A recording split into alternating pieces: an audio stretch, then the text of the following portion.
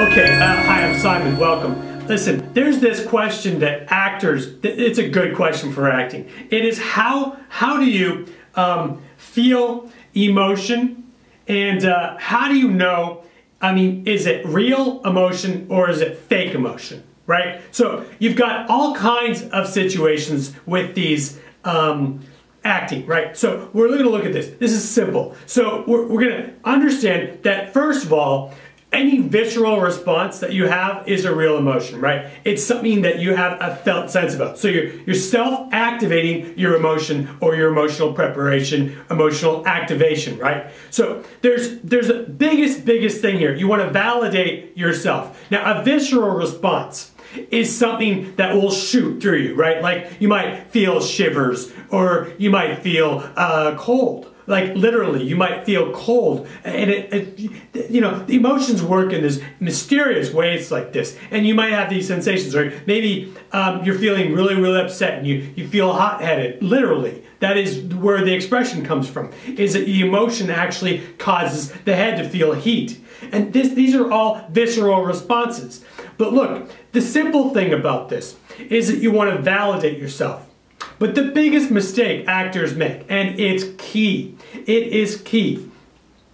Look, you're going off, a lot of people will choose, they'll build up these incredible storylines, and they're great storylines. Maybe it's artificial insemination, maybe it's an adoption, they've never seen their adopted mother, brother, father, whatever it is, right? Sister. So you look at this, and you go, these are great things, and they're so excited over their really, really exciting idea about what they want to do for their acting is that they forget to emotionally prepare. Now, that is the biggest pitfall that you can do when you're acting because look, you're going to have the tendency, myself included, if I work with the technique that I just described, which is just going off of an idea, I'm going to have the very, very, very commonality that it's most likely going to come out that I'm going to play my idea in my acting. It's just the way it is. I've seen over 30,000 acting exercises, way over. Okay, so look, the key about all this is you want to be able to work with all those things and have all those elements of your back storyline, all of the stuff that you're setting up to be able to be supportive of you and, and with your emotional preparation but you still want to do your emotional preparation and then you still want to do your emotional activation. Now, emotional activation is another thing. Uh, by the way, I wear these for, um, for reading. Uh, the contrast, the colored tints help the, the contrast. So the, the reality of this is you're working in a way so that you can be able to activate your emotion. Okay, so what does that feel like, right? It's terrible sometimes. When you're working with an active emotion, oh, you feel it. And sometimes you'll activate something and all of a sudden you'll find out, oh, you didn't think that you were that kind of a mean of a person, or you didn't think that you had that kind of mean streak in you, or you didn't know where this thing was coming from, or that thing. That's part of the discovery. And then those adjustments that you personally choose to make, or sometimes it will be with the teacher or director, then you work with, with whatever it is that you accept, right? And then that is an element then that expands you and your humanity, right? You decide, I mean, why is it that you're always feeling uh, um, agitated or why is it agitation or is there an extreme thing or um, is there some bad personality trait that always comes out in your work? A lot of people have this, a lot, a lot of people. So the key about this is is that is is being willing to accept that those bad traits are going to come out of your work if you're working authentic if you're working truthful and that's just something that's going to have to be part of it and you might look at an actor that's done this a year two years and you might say you know it's funny because you know you're watching their work and you don't see any bad traits coming out in them. They don't have any uh, roller coaster runaway moments, or they they're they're a little scattered here. That none of that. Well, that's because they've trained.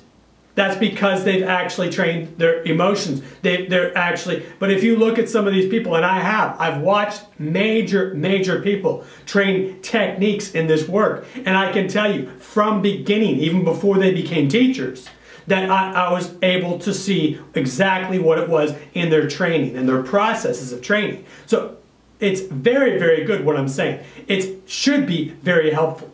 But the next thing that's that's important, and, and we're going to keep this short. Um, contrast um, is is the contrast of that. So the two things, right? You've got your emotional range that you're intending to be able to spark. Okay. Now your your job is to be able to spark your emotion, right? That is talent. By the way, that is the ability to have talent. Okay, so your ability to be able to create your own self-activation. Acting is activation, right?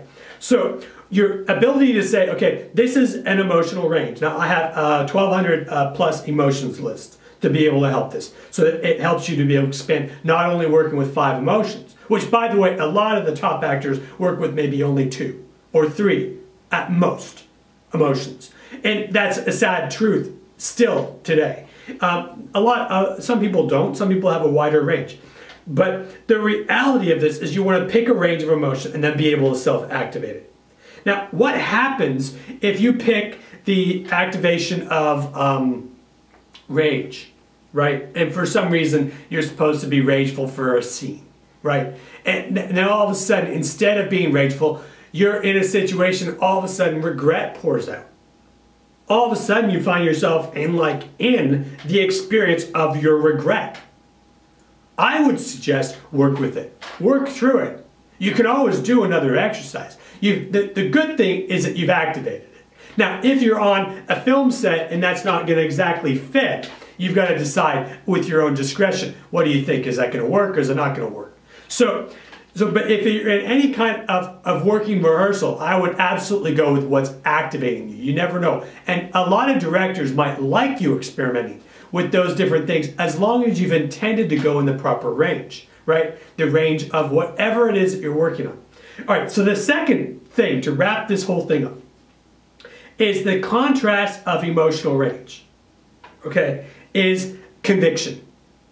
All right, now I can't tell you. I mean, how many? Uh, uh, I'm not making fun of people, but but trust fund babies or or people that have been given roles that never acted in their life, and they're told that they have to come to acting classes and learn acting because they've already gotten the role. And even though the casting people haven't casted for it yet, this is the way the industry sometimes works, right?